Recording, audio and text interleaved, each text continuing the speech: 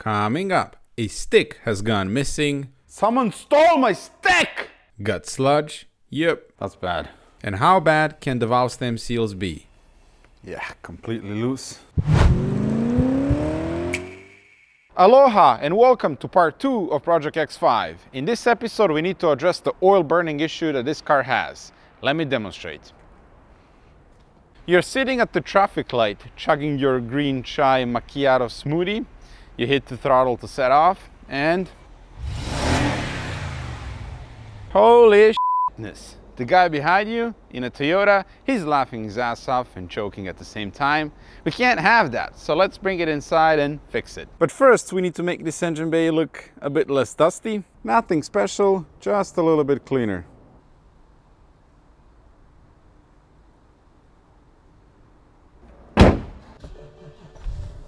This 2009 E70 X5 is sporting N62 4.8 liter V8 engine, which has a common issue with worn out valve stem seals. The oil leaks past the valves into the combustion chamber and onto the cats, and when the car idles and you hit the throttle, it burns that oil and you get bluish smoke from the exhaust. If you're lucky, it could also be that the CCV diaphragm is torn, which will also cause blue smoke as the oil vapors get sucked into the intake. But given the age and mileage of this car, 183,000 kilometers, yes, that's not a lot, there's no chance that the valve stem seals are good. So in this episode, we're going to replace them. First, we'll start by draining the oil and dropping the oil pan to inspect it for the usual stuff such as nails and timing chain guides, and if everything looks good, we'll proceed with the top end teardown. Gonna remove the reinforcement plate.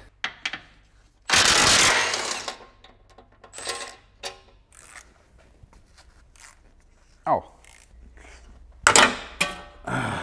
Looks like it's been a minute since this car had an oil change. Ooh, that looks disgusting. That is really black. The car is cold, hence the slow drainage. The drain plug is stripped. I need to replace that. Oh my! Do I need a breaker bar?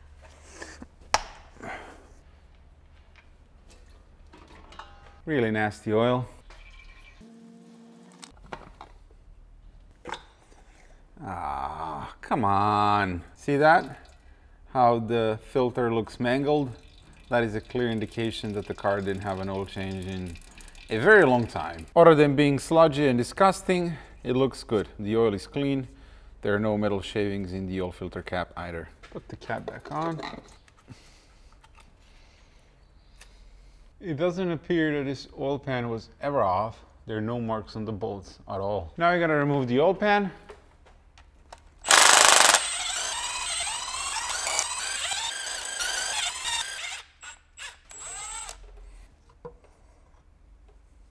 This all looks fairly clean. This is good news. Just a little bit sludgy. I mean, the car hasn't been driven properly since 2019 or something like that. I think that's what the guy told me when it was imported and he was not able to get TÜV, so we have a lot of condensation in the oil as well. I mean, these engines, they don't suffer from failed timing chain guides at all, pretty much, unlike the M62.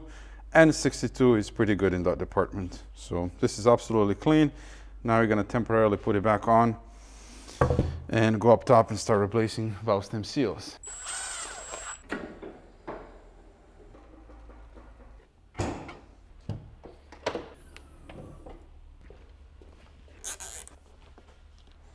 Donde the style stick? Where's my stick, man? I know I didn't throw it away. It was like the most useful thing in the shop. Someone stole my stick! I believe this is my L stick, but someone shortened it. It's been cut. It was longer. I think my landlord chopped it off, so now it's not long enough. I want to prop the hood open so we have more space to work with. This is called service position. Nah, nah. Oh yeah. Oh yeah. Professional tool. And the hood is pretty light because it's aluminium.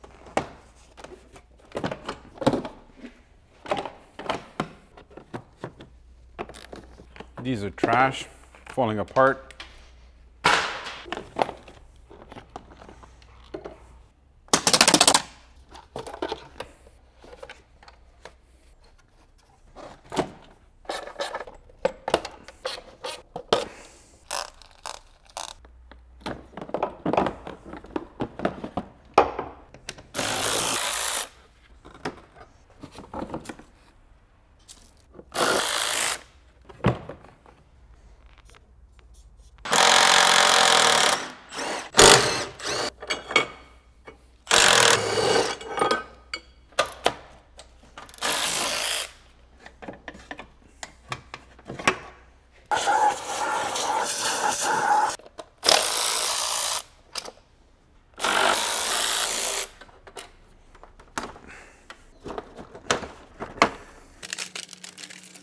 This is the type of engineering that I like.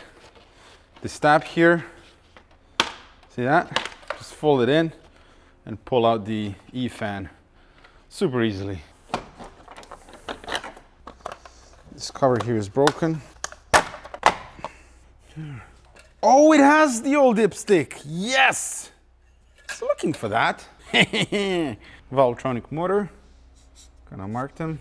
Bank one.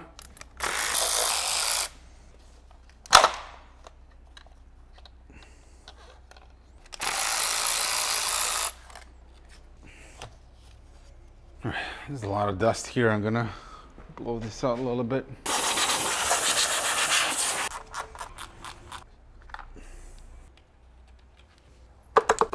Now we're gonna jump on bank two, remove the coils, and then we can get this entire wiring harness out of the way. I lost my pliers now. No! This is like the third tool that I lost.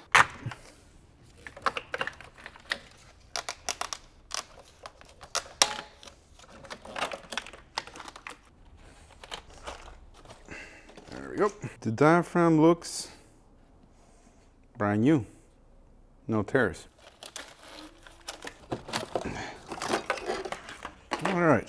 So I can go on the side like that. Now I need to disconnect camshaft position sensors, eccentric shaft sensor. You know what? I'm gonna remove the windshield cowl now because I want to repaint it and we also need to replace this plastic trim here and I don't want this dust to end up in the engine. So we're gonna do that now. I'm gonna put a piece of tape here so I know where to reinstall the wiper arms. There we go.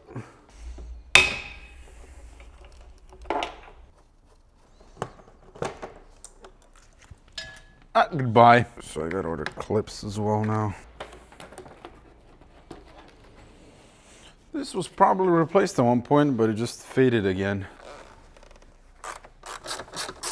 Like I'll need to remove the entire wiper mechanism. Alright, that was fairly easy to do.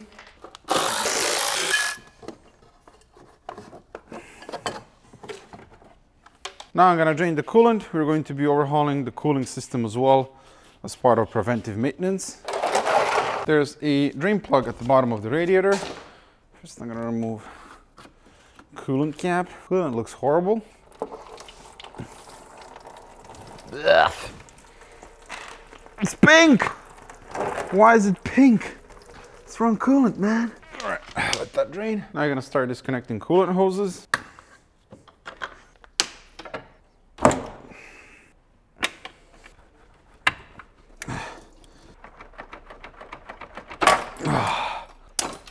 Ow! Oh, ow. Disconnect the sensor.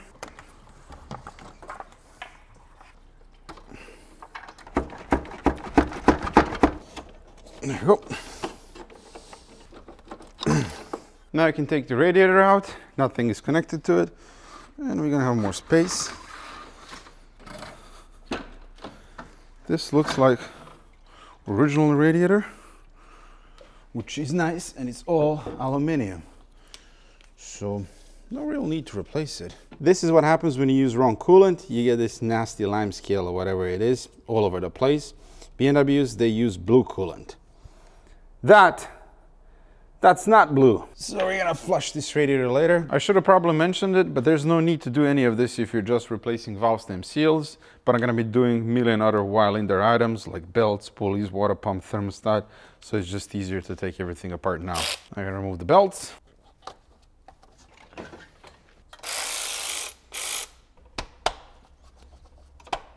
Oh, will you? Oh, please don't tell me this is one of those stupid belts that don't have the tensioner. Yep, that's affirmative. Yep. Now we're gonna remove the valve covers. We need to unbolt the dipstick from the head. All right, that's the bolt. There's a small nut holding the dipstick in to the oil pan. Gonna try and remove that and then take it out completely so we can replace the o-ring as well. Problem is the X5 is so tight with space because of the four-wheel drive thing. Got the ratchet around it, perfect. And that's the nut removed. That's the plate. It's out.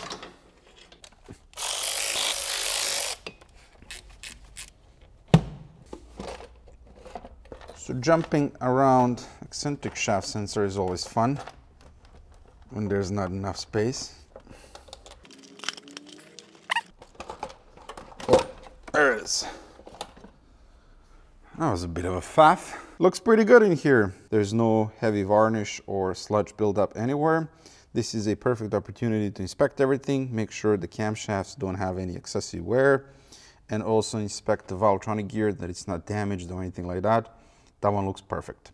So let's go ahead and remove valve cover on bank two as well. Disconnect this connection here. Coolant lines that go to the heater core. It's gonna make a life a bit easier to remove the valve cover.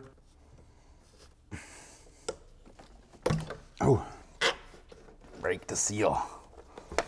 Sneak that underneath. I retrieved my tool earlier. Oh. Collect the fuel and preferably change gloves. Plug the fuel line, we don't want any contaminants in there. I think we'll disconnect the positive cable as well.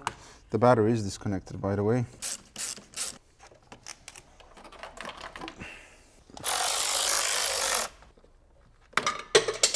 Never going to find that again, never. This is what, third or fourth tool that I dropped into the engine bay. I only managed to retrieve one of them. Maybe I can finally get my pliers out. Oh, yes. All right, one tool retrieved. Time to use the 10 mil socket that I found in Project Chicago eh, engine bay. Oh, wow. Oh, this is going to be fun to put back on. Bank 2, equally awesome. No abnormal wear anywhere. The camshaft looks good. The Valvetronic gear looks good. You can see the timing chain guide over there. It looks good as well. At this point, two paths to choose from how you're going to replace the valve stem seals. Number one is to buy or rent those expensive special tools that are going to allow you to compress the valve springs, dance around the camshafts and replace the valve seals. I don't really like that method, nor do I have those tools. And I think if you go down that route, it's just gonna take forever. I read online that people sometimes take three or four days to do it that way, which is just ridiculous. There's not a lot of space here and there's this Valvetronic junk in the way, so you can't even see some of the valves. I don't know how people do it and I don't wanna kill my back. So we're gonna go with method number two, which is to remove the camshafts and then we have a clear shot at the valves and we can use some generic valve compression spring tools to replace the seals. That method is more involved because you have to remove upper timing covers, the vanos, and of course the camshafts, and mess with the timing. Not a lot of people want to deal with that, but I've done this about 158 times on Alpina, so it shouldn't be that big of a deal. I have the timing toolkit over there. So we're going to remove a lot more parts, but I think in the end we're going to save time as well. So let's begin. Let's get the spark plugs out. And the spark plug tubes. Come on out. Oh, that wasn't tight at all. You can see where it's burning oil, how the spark plug is a bit black on the side. Look at that.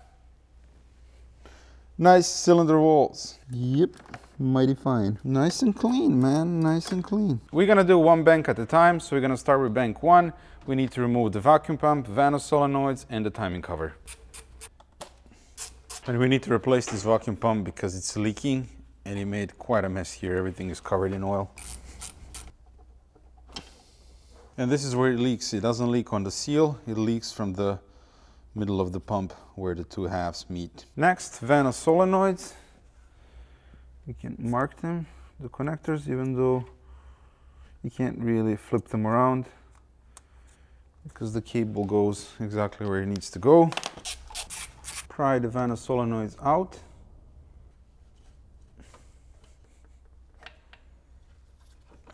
Man, that is dirty. Look how dirty it is. Crazy. So these definitely need a good cleaning. I didn't drive this car a lot, so it probably didn't run right under full throttle. That's bad.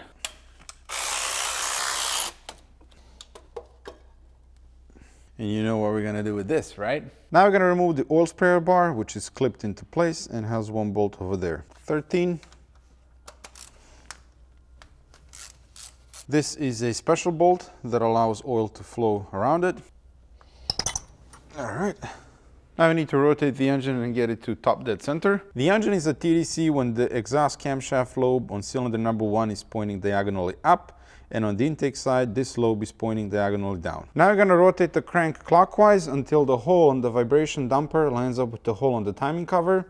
Then we can slot in our tool and also make sure that the camshafts, lobes on cylinder number one are pointing in the right direction. So should be real easy to turn it.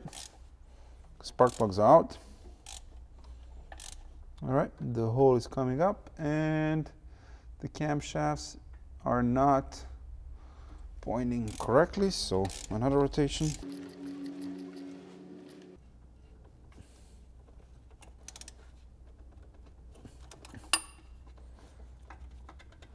And now the crank is locked. Now you can see that the exhaust cam lobe on cylinder number one is pointing diagonally up and on the intake side diagonally down. This is the timing kit for the N62 engine. Now you're gonna check the timing of the engine, which has to be correct, otherwise you would throw timing codes but we're gonna do it just for the sake of it. First, get a 30 mil spanner, get it on the intake camshaft and rotate it against direction of rotation, so anti-clockwise to make sure that the Vanos is in its locked position, which it is. And then on the exhaust side, you have to rotate it clockwise and also make sure it's locked, which it is. Then get the timing tool. This is the intake side and the tool needs to sit flush on the cylinder head on both sides. And that's spot on. And then exhaust side spot on as well sitting flush. So now we can start removing Vanos units. Remove the upper timing guide Now I'm going to remove Vanos units and these are specific. You can see this one says in as intake and then this one is specific for bank 1 exhaust because of this notch here for the vacuum pump. Now we need to counterhole the camshaft and loosen Vanos bolt.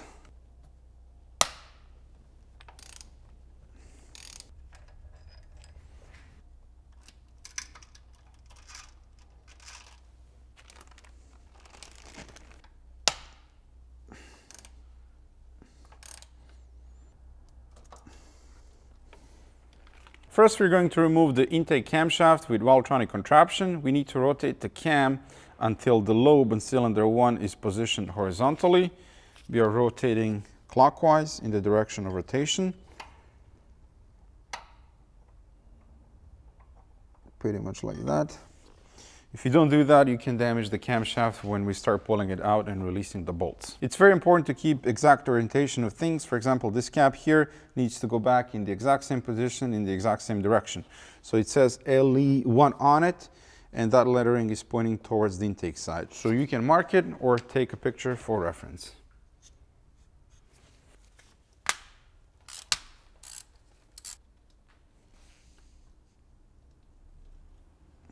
Now I can release the rest of the nuts going from outside to in.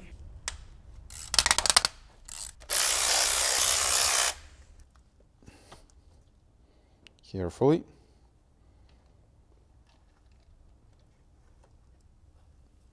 And there we have the valves, the rocker arms, the lifters underneath them should be much easier to replace seals this way. To remove the exhaust camshaft, we need to put it in removal position first. So we need to rotate the cam anti-clockwise until lobes on cylinder number two are pointing up.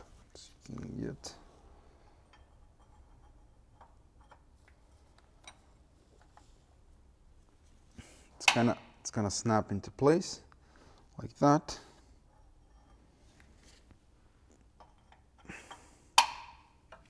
Now the tension is released and we can safely remove the camshaft. Here it is very important to keep orientation of the caps as you remove them. They are all labeled, one, two, three, four, five. and the lettering needs to point towards the intake as well. I'm gonna release the nuts.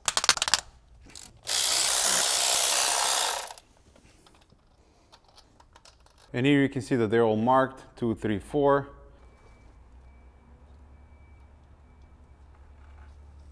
I know this might look scary, but trust me, it's not that complicated. And this took me about 40 minutes to do to remove the camshafts. Would be even quicker if I weren't filming. Now you can either remove the rocker arms or swing them out of the way. I think I'm gonna remove them because that way I can clean them too. But again, very important to put them back in the exact same place you took them out. So I'm gonna start labeling. So this is going to be one and the end is gonna be eight. So I'll leave the lifters in, but remove rocker arms.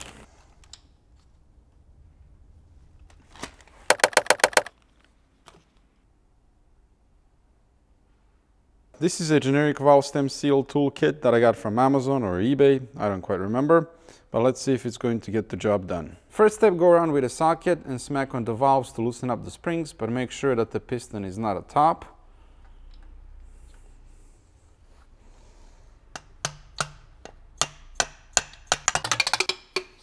I replaced one seal off camera just to make sure the tool works the way I imagined it, and it does.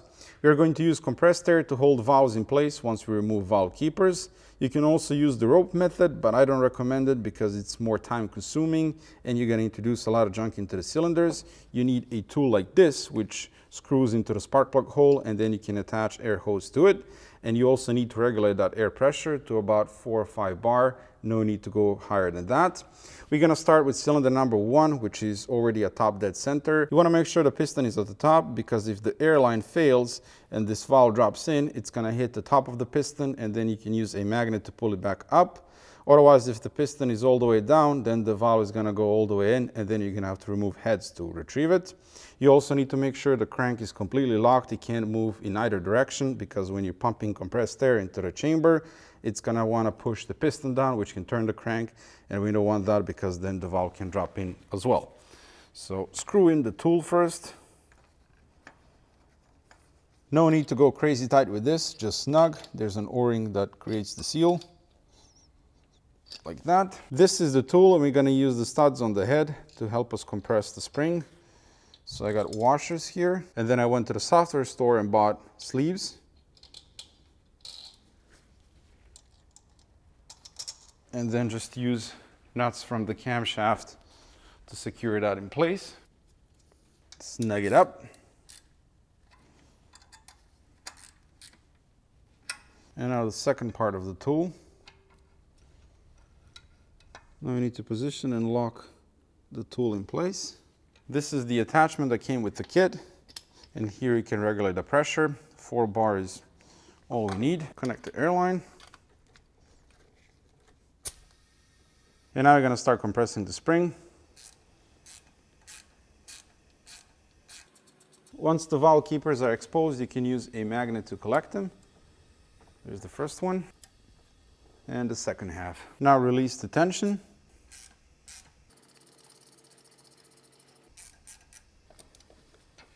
Collect the spring. There's a washer on the top. And there's our culprit, worn out seal. So get pliers around it and pull it out. It's super easy because they're, well, worn out. Now I'm gonna use Q-tips to clean. Now plenty of oil. And now the little condom, which is going to help us install new seal safely. More oil. Here's the new seal all looped up. And now you can use a socket or whatever you have to press it into place.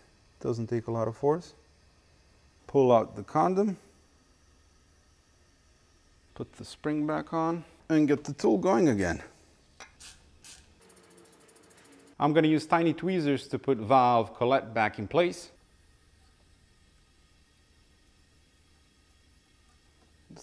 One half back in place.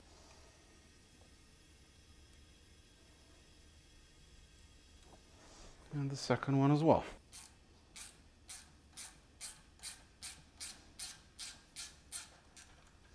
And that's it. Now we can turn off the air supply.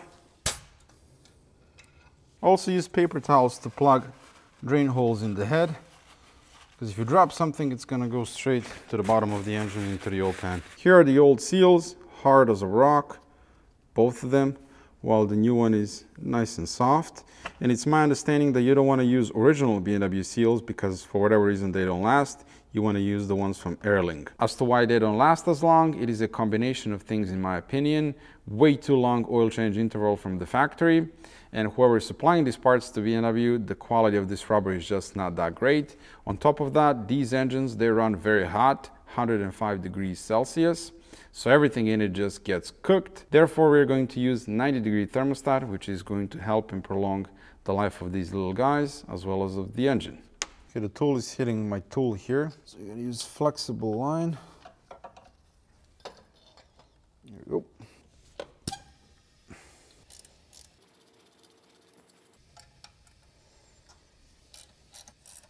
I cover the pliers with tape so we don't accidentally scratch the valve.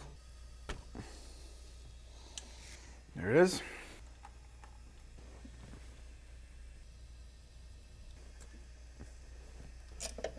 Now we need to rotate the engine, but before we do that, we're gonna spray some fogging oil from MEN in cylinder number one because we were pushing a lot of air through it.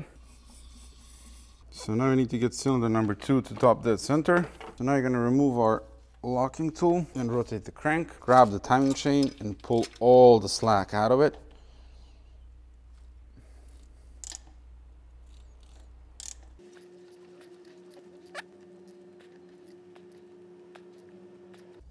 Right, that's TDC. Take the camera out and now we need to lock the crank. This is how I lock the crank, pry bar in between the subframe and the floor. So you can't move in either direction.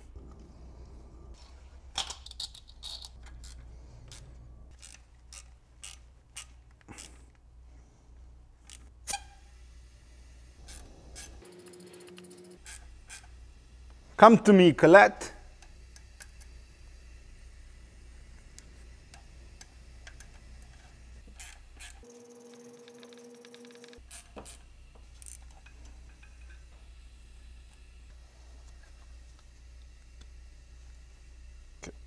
Need to make sure all this is nice and clean. Oil,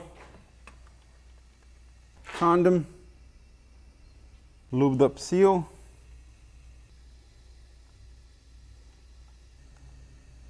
clean spring,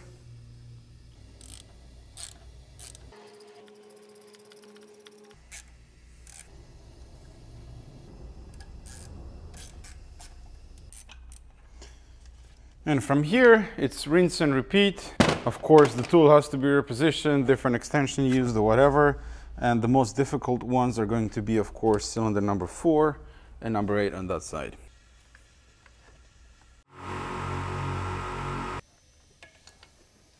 All right. And that's bank one done. That really wasn't too bad. I thought the last two valves on cylinder number four are gonna be really bad, but not too difficult. Now we're going to clean. Now you're going to do a little bit of vacuuming. So you need to clean up all of the mating surfaces.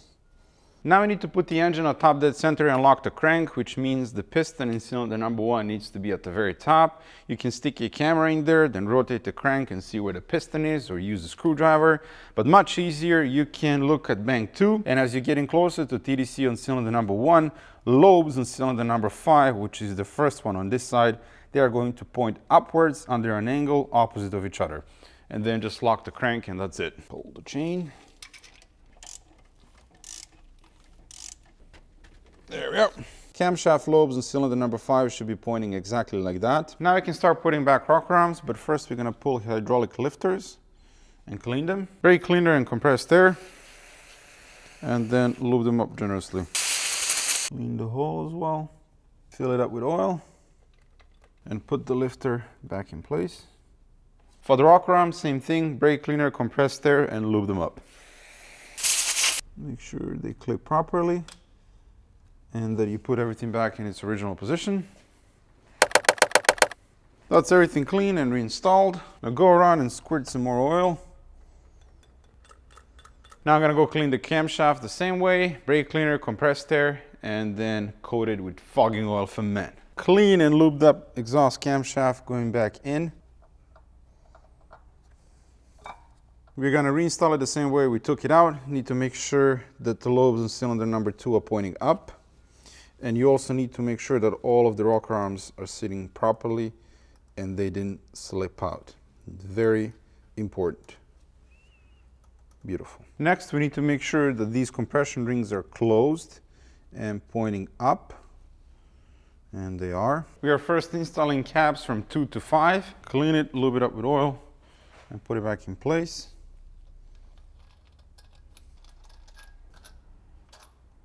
Clips for the oil sprayer bar. Now tighten these nuts evenly from inside to out. Now grab a torque wrench and torque from inside to out to 14 newton meters.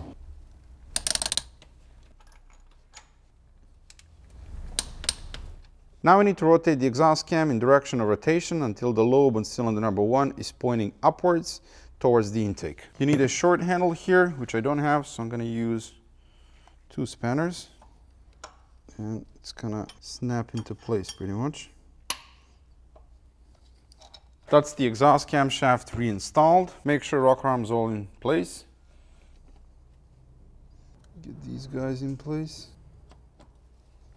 Now go around and make sure none of the rocker arms popped out.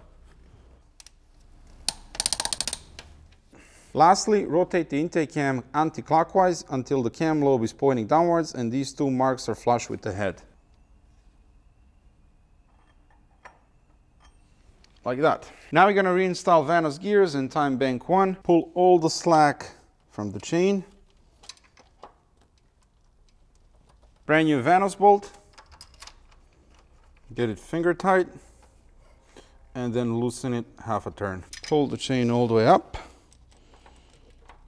And now you need to press on the timing chain tensioner and install the intake gear.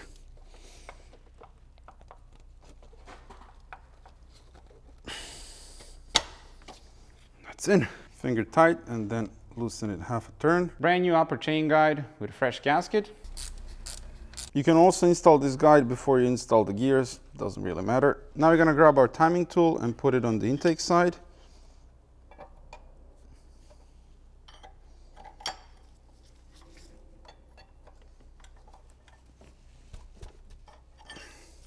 Make sure it's sitting flush with the cylinder head. Now you're gonna get the special tool Screw it through the timing chain guide where the oil sprayer bolt lives to keep this in place. And now we can tighten this Vanos bolt, counter hold the camshaft and torque the bolt to 80 newton.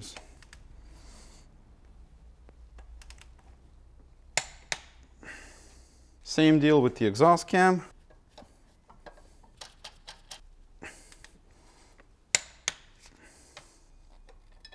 Remove the locking tool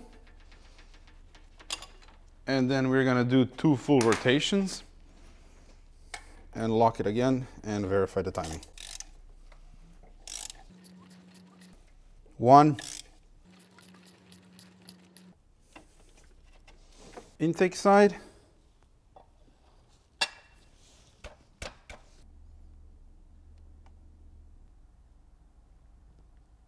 Exhaust side.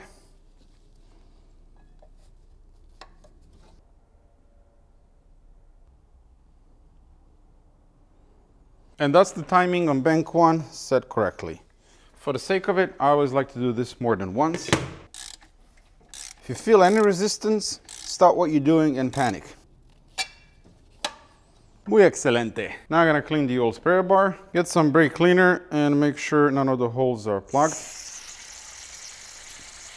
Should flow nice and easy like that.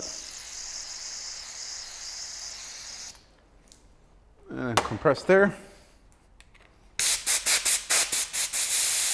And then fogging off from that. Clip it and tighten it. Now you're to attack bank two and we need to remove this upper timing cover. So I'm going to remove the pulleys, the alternator, and we're also going to replace the alternator seal bracket.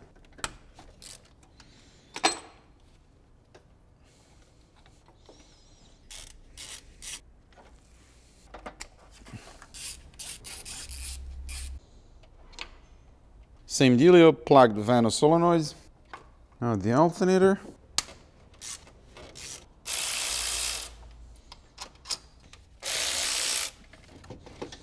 Unplug the connector. The upper timing cover is leaking, so yet another good reason to do this. You need to be a witch to get this one. Don't make me get a pry bar. And you can see that it was leaking here. Same process as on the other side, remove the oil sprayer bar and the timing chain guide.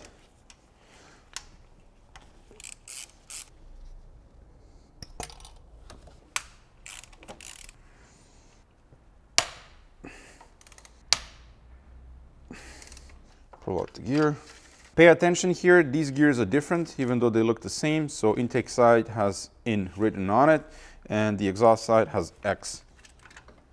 Now we're going to remove the intake camshaft and first we're going to rotate it anti-clockwise until the lobes on cylinder number 8, which is the last one, are positioned horizontally and also you can see some writing on the cam right over there.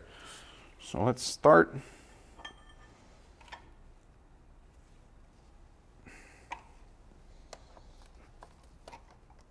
There you can see the writing and that the lobes on cylinder number 8 are positioned horizontally.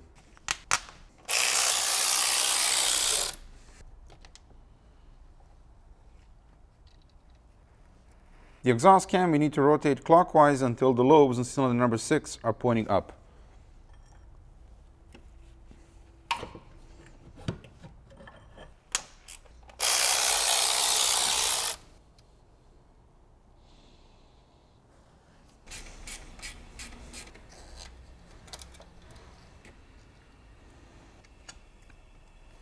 Yeah, completely loose.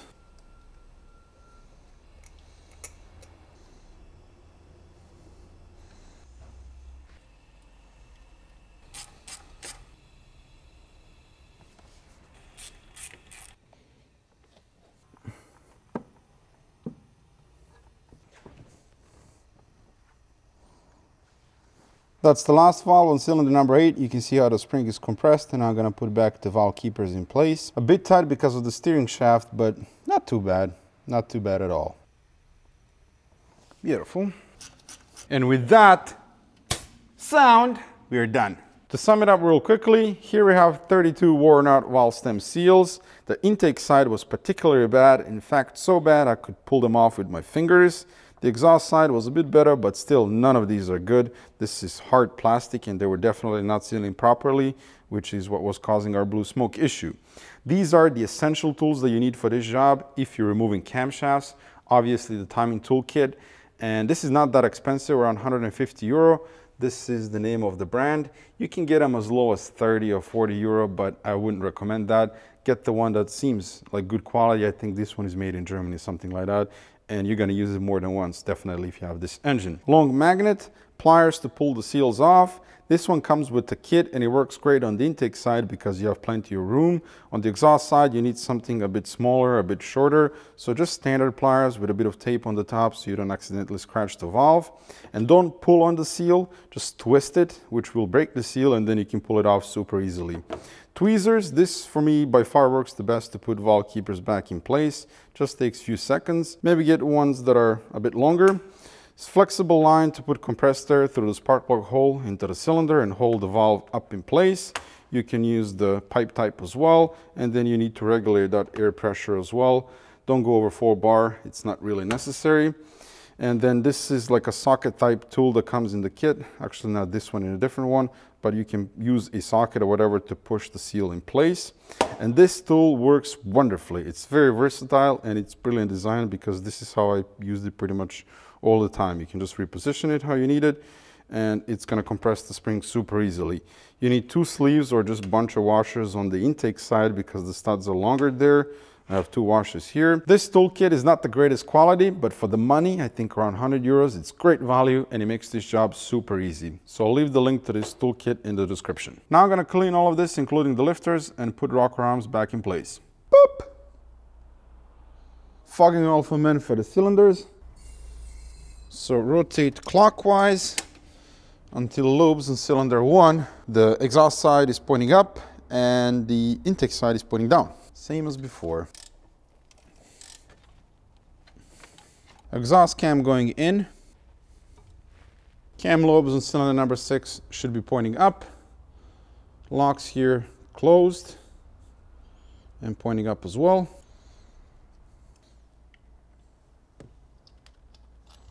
Locking tabs on the cab 3 and 5. Now we need to rotate the exhaust cam anti-clockwise until the cam lobe on cylinder number 5 is pointing in this direction here.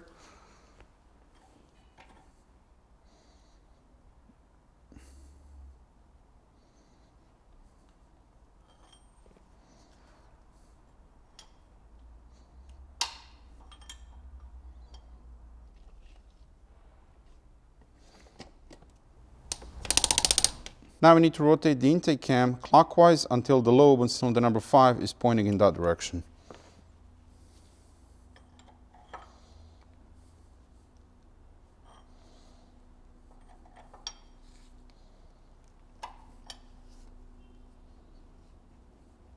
Brand new upper guide with a brand new gasket. Grab the exhaust Vanos gear that says AUS or X as in exhaust pull all of the slack from the chain. Press the tensioner and install the gear. Get the timing tool on the intake cam.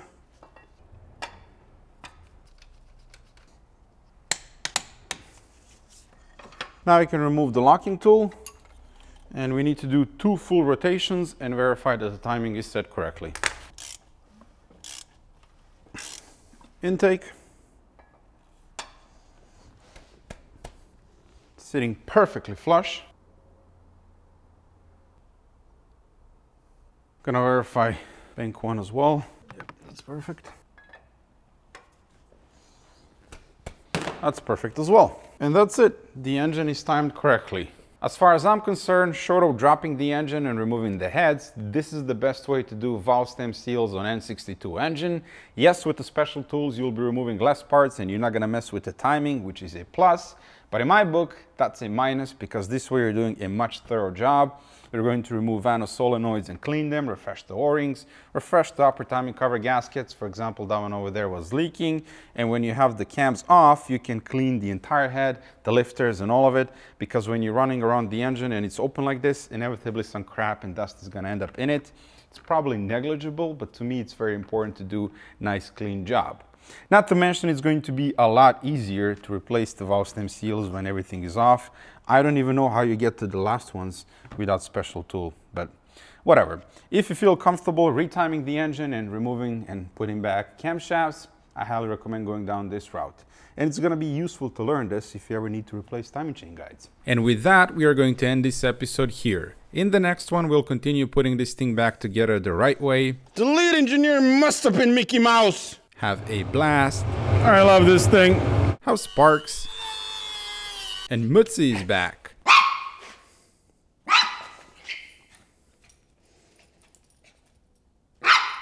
Do you even know where you are? As always, thank you so much for watching, and I'll see you in the next one.